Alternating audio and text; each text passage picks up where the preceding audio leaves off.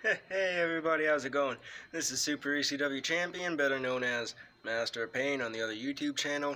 And just real quick, I want to send out a quick apology to everybody. We haven't been able to wrestle due to the COVID, due to, you know, wildfires and everything, sending a whole lot of smoke. We really are trying to do what we can to put some matches on.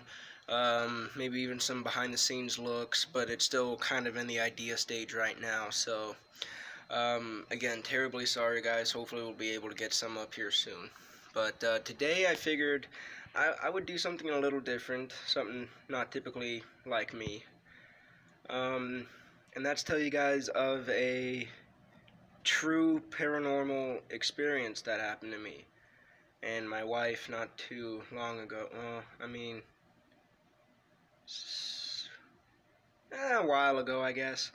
Um, this was during the first shutdown in my in my state for privacy reasons. I don't really well. I mean, heck, I won't even go that far. I just won't say where I'm at. But the uh, airport USO where I live is incredibly haunted. Just guess it's just best to start from the beginning, you know. It,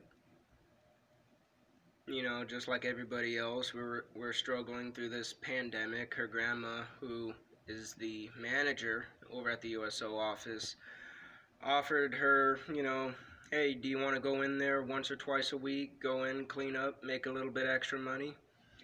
And I told her uh, she would be foolish if she did not take the offer, so she took the offer. And we went up there and this was, I believe, on a Saturday. And we go over, you know, she starts her cleaning and everything. I take the kids over to the little play area that they got, try to get the TV working. I don't think I ever got it fully working. And she comes like almost jogging back into the room.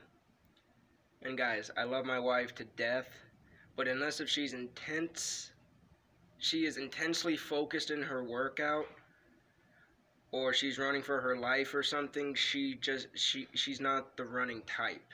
She's the kind that'll just seriously, is that the best you got with the threats? You know, she she's an incredibly tough woman. And she is almost shaking with fear. She doesn't do that either. And she tells me as she was dusting off the medals and everything, she kind of had this feeling like she was being watched, and it wasn't in a good way. And then as she went into the back to grab something, another cleaning product, she had to pass through this little area. And as she walked through it, she just noticed that it was cold. And this was in the middle of the summer, guys. So it was about uh, like 75, 80 that day. About 70, 65, 70 degrees in the USO with the AC on, but it was still pretty warm inside. And there was just this one cold spot, and she's telling me she's just, she's creeped out, she doesn't want to be there. I've had experiences in the paranormal, but it, I, it hadn't happened for a long time. So I was kind of laughing it off, you know, oh, you're crazy and everything, you're just it's just the fact that there's nobody else here. And we go and we start walking toward the exit. Keep in mind, guys, she did not tell me where the spot was, where it was cold. I'm walking and I hit this cold spot. I didn't realize it at the time. And the next thing I felt, you guys, I swear to God, it felt like two hands on my shoulders just pushed against me, forced me to stop. And the hair on my arms and everything stood up. I had goosebumps. And the last time I felt like I wasn't going to get out of here, there's been two times, one before and one after. And the first time was when I had a knife pulled on me over at uh, the mall when I was a security guard. and somebody quite recently, I won't go into details on that one, but somebody quite recently pulled a, a rifle on me. Um, and those have been the only two times since then I've been scared. And if you watch the wrestling channel, you guys know who I am. I'm incredibly cocky. Uh, maybe cocky is. I'm a bit of a loudmouth. We'll go with that. I'm a bit of a loudmouth. Um, incredibly strong. Been able to take beatings ever since I was a kid. If I can see it and if I can touch it, I fight it. That's my mentality. And what I felt that day, the oh my, the feeling that came with it.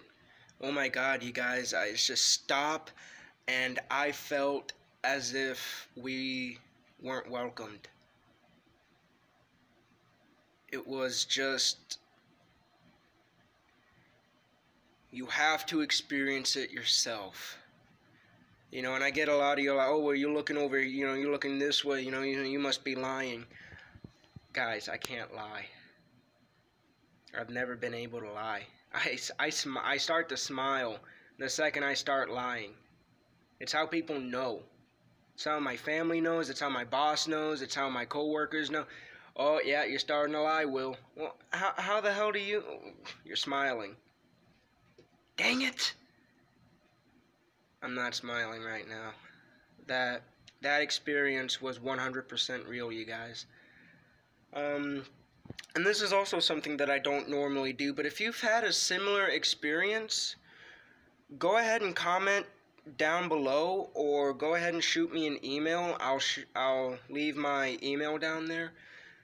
And I'll actually try to do one, maybe not in this way. I'll do it with like pictures and everything, like how Mr. Nightmare does it. And I'll do some narration and, and everything, and I'll try to make it sound, you know, creepy. Or let me know if you actually want me to make it sound creepy, or if you just want me to read it normally. So, but yeah, that that experience was months ago, and I'm I'm still shaking over it. So. But anyway, this has been your boy Super ECW Champion, better known as Master Pain, and Fist Bump Y'all have a good day now. Take care.